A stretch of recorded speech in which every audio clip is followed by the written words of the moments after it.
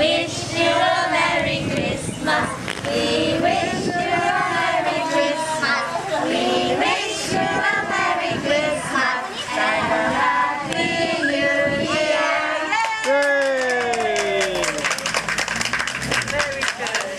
Welcome to week 46 of Esper's Refit and a very Merry Christmas to you all. This week we only have a few seconds of boat update news because it's been raining pretty much constantly. We've also been occupied with the wedding of two yard workers and we finally relocate four of the six kittens who have been living in the yard office. So, boat update first. The most exciting progress has been Ton's work on the swimming platform. We selected a substantial piece of teak for this construction and now have a beautifully shaped, one inch thick area to land those huge tuna we catch every day. Not. Dang, in amongst varnishing duties, gave Esper's topsides a clean, having now removed the cling film.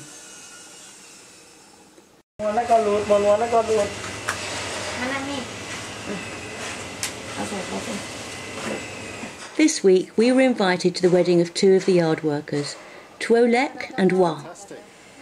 We've said before how PSS Boatyard is as much of a community as it is a place of work, and Friday was proof of this. Julie of PSS and Gung, one of the workers, treated Wa to the full works with dress, makeup, and hair treatment. After posing for photos outside the workers' homes, we were then invited for lunch. The Burmese community had really gone to town on a fantastic feed of shrimps, duck, chicken, and vegetables, a supply of which was never ending, not to mention the beer, Coca Cola, and water. And finally, for those interested, and specifically for the Totem crew, a kitten update. Over the last couple of months, PSS has accumulated six kittens from various sources, who are lovingly cared for by Siobhan, Mairen, and Niall of Sailing Yacht Totem. It was time, however, for the kittens to move on, and Ma, another worker from Myanmar, volunteered to take them all. Sooty is still too small to leave, so she is still being cared for, along with Dusty. But with the help of the workers' children, we escorted the other four through the village of Chebilang.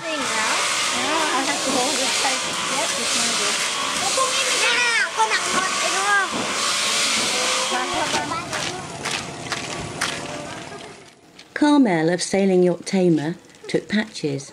Julie held Hussar, whilst Liz took Sam and Nala.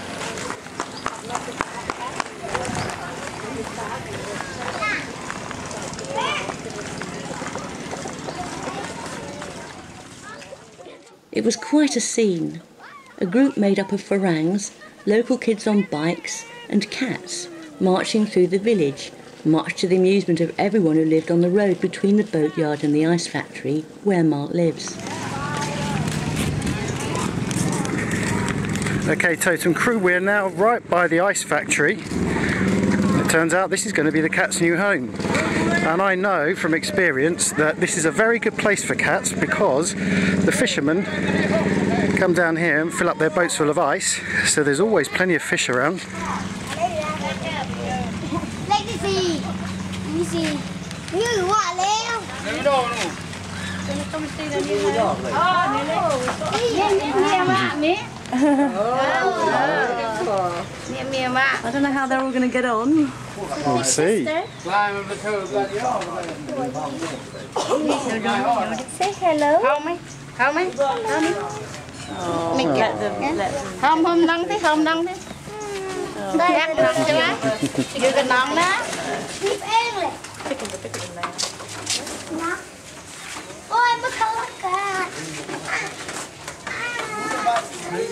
When we arrived, we were invited into what we thought was Ma's very humble abode.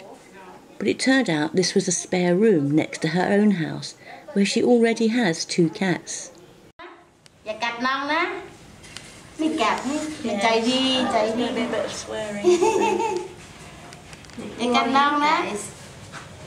I hope the three of them won't, the four of them won't be this one. That is a, it's an elf.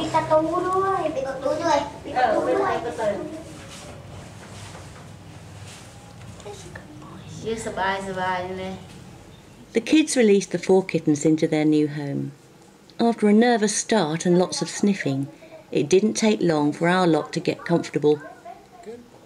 แล้วใครจะเลี้ยงมันนะ มาเอาไม่คนยังมีอ่ะ ชอบเหรอ Meanwhile, the boys made monkeys of themselves by climbing a tree, shaking it furiously, and releasing its fruit.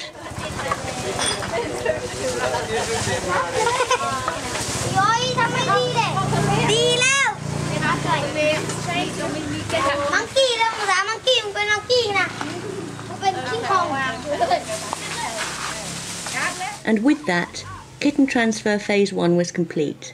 And as we approach the end of the year, with more cloud and rain, we wish everyone a happy festive season from Esper in PSS Boatyard, Chebilang, Thailand.